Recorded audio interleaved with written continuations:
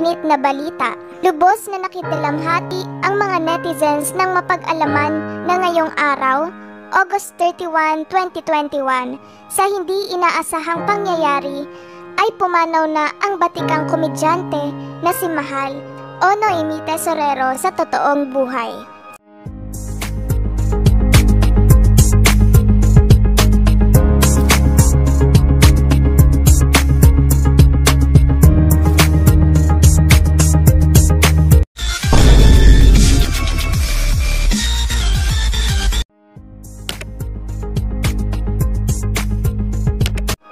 Edad na 46 years old, agad na nakapukaw pansin sa social media ang balitang ito. Hindi naman makapaniwala ang marami dahil na rin sa kanyang mga vlogs na tila walang senyales na mamamaalam na ito. Lalo pat 2 days ago lamang ang kanilang latest vlog ng boyfriend niyang si Migs Molino. Isang Irene Tesorero na di umano kapatid ni Mahal ang nag-post at nagkumpirma na wala na nga ang dating komedyante. Aniya, ang aming kapatid na si Mahal ay pumanaw na. Wala pa schedule sa kanyang burol due to COVID restriction. Isang netizen naman ang nag-post sa kanyang Facebook nang di umano dahilan ng bigla ang pagpanaw ni Mahal. Nag-confirm na ang kapatid ni Mahal na si Irene Tesorero, wala na si Mahal o Noemi Tesorero sa tunay na buhay. Gastro and COVID ang kinamatay daw kanina hapon lang. Paalam mahal, di ka namin malilimutan.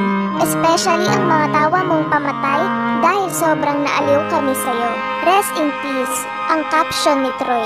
At isa namang personal na kakilala ni Mahal ang kumumpirma sa nangyari. Two years din kita nakasama sa bahay at naging alalay mo sa mga out of town shows mo. Araw-araw gabi-gabi magkakasama. Ang tapang mo para umabot ng ganyang edad sa kalagayan mo. Bago ka nawala, nakagawa ka pa ng napakabuting gawain sa partner mong si Mura. Mahal ka ng lahat. Mahal ka namin mahal. Pahinga na aming munting mahal. Noemi Tesorero. May you rest in peace. Saad ni Brenda. Samantala, matapos ang matagal na hindi nila pagkikita ng showbiz partner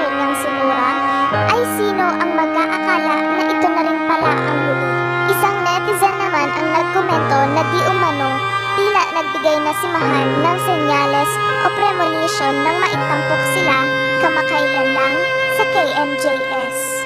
Aniya, nagparamdam na ata siya dito na pag nawala siya sa mundo, RIP Mahal. Pag alam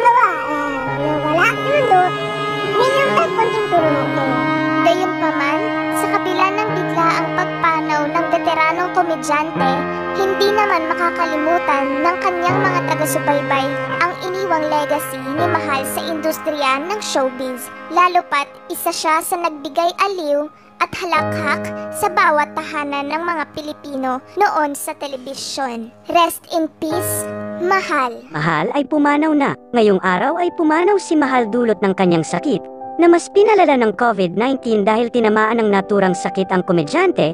Labis nga nagulat ang lahat sa balitang ito. Wala pang isang oras nang ianunsyo ang pagkamatay ng komedyante na si Mahal. Sa post kasi ng kanyang kapatid na kinumpirma ang pagkamatay ng komedyante, ang aming kapatid na si Mahal ay pumanaw na wala pa schedule sa kanyang burol due to COVID restriction So kaninang hapon pumanaw ang komedyante dahil tinamaan nito ng sakit na COVID na mas pinalala ang kanyang diabetes. Labis naman ang lungkot ng lahat sa agarang pagpanaw ng sikat na komedyante. Si Mahal ay sumikat dahil kat-andem niya si Mura. Kamakailan nga lang nang busitahin ni Mahal si Mura sa kanyang probinsya dahil miss na nga ng komedyante ang kanyang partner noon.